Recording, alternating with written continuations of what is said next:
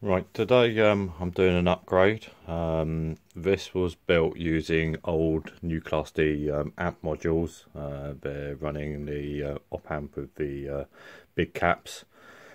The big caps we keep the same. Um, I've obviously had to take the toroids out uh, to have access to the modules. Uh, so these modules coming out.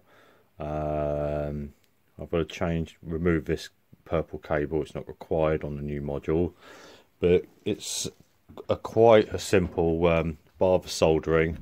Um, it is literally a case of removing the uh, bridging plates, remove the um, the old module with the heatsink, and then you screw this one in. And I'm hoping everything will fit in um, same as um, the original.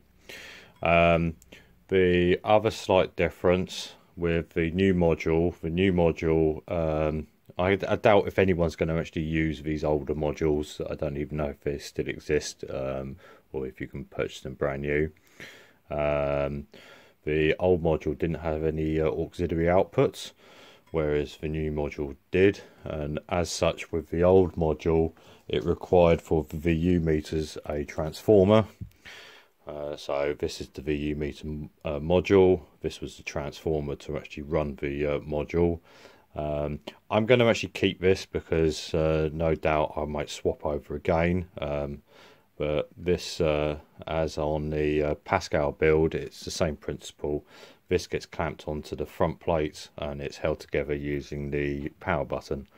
Um, anyway uh, let's uh, so I'll take this apart and then I'll do another video with the new one in so you can see um, how easy it was to do